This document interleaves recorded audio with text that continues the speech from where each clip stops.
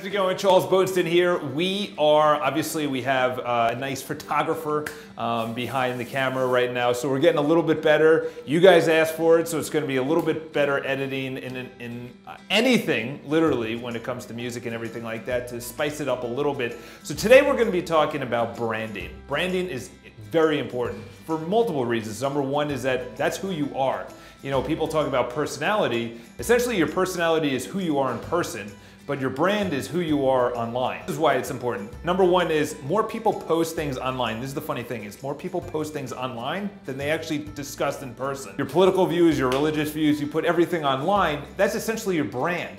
And ironically enough, your brand now translates offline because more people post their personality online. So this is really what it boils down to, is that your brand is how people, when they hear your name or they hear your company, what do they think about? What, what do they, like, what's the first thing they, that comes to their mind? Number one. Number two is, how do they feel? What's their feeling when you, when you hear Apple or Exxon or Levi? So we're gonna talk about, really quick, actually improving your brand or the brand that you have online. So this is really important because Tai Lopez, you know, nothing to say anything about Tai Lopez, but essentially the guy, he, him, and I've actually heard uh, Tim Ferriss are just, they're, they're just addicts where how they're seen online and they're a little bit different in person. So you don't want to be that way. You don't want to be someone that's insane online that posts all the time, but you also don't want to be someone that's super conservative. You literally have Tai and Tim as these guys that they're so obsessed with their brand online that they're totally different in person.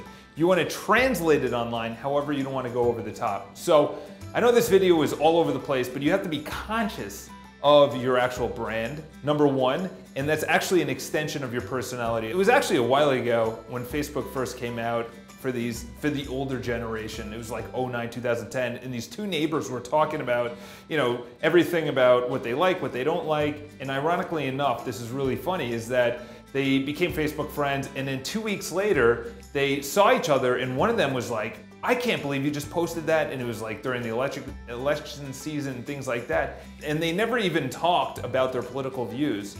But because they actually, one of the neighbors posted their political view, the other person didn't like it, unfriended them, and then they don't even talk, and they're neighbors.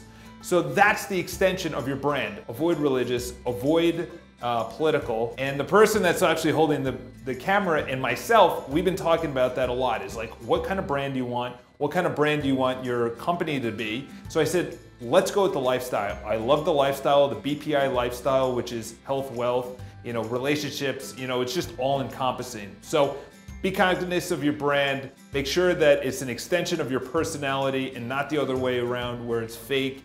And when people meet you, they're like, hold on, wait, you are not that person online.